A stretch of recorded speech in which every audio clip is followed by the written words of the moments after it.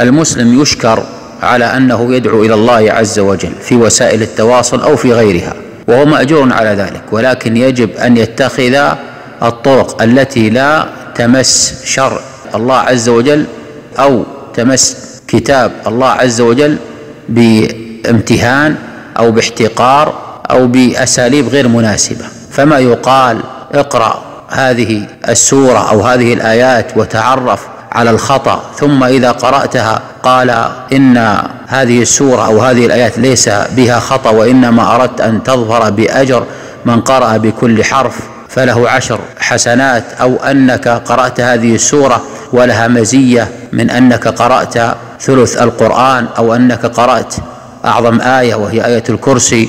أو أنك قرأت الآيتين من آخر سورة البقرة ومن قرأهما في ليلة كفتاه وما شابه ذلك فإن هذا من التلاعب بكتاب الله عز وجل وكتاب الله عز وجل وصف بأوصاف عظيمة وشريفة فلا ينزل إلى هذا المستوى. من أراد أن يدعو إلى الله عز وجل فليذكر الأحاديث الواردة في فضل هذه الآيات وفي هذه السور حتى يعلق الناس بالأحاديث وحتى يدعو الناس إلى أن يطبقوا. لكن لما تأتي هذه الرسالة وبها من التلاعب ما بها ثم يقال والله ما أردت إلا أن تقرأ هذا فربما يغضب ويرى أن هذا الرجل لا يصلح أن يكون داعية أو ناشرا للخير.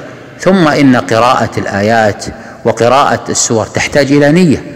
فكيف تقول له هذا الكلام؟ لكن لو قلت له لو قرأت هذه السورة أو قرأت هذه الآيات فقد جاء في الحديث لك ثواب كذا وكذا هنا يستحضر. ولا عمل إلا بنية ولا يؤجر الإنسان إلا إذا نوى إنما الأعمال بالنيات. فليتنبه لمثل هذا. يعني هل ظفر بالأجر؟ هل تحققت أنه ظفر بالأجر وهو لم يقرأ هذه السورة على أنه أراد أن يقرأها من أجل هذا الثواب؟ فتنبه رعاك الله.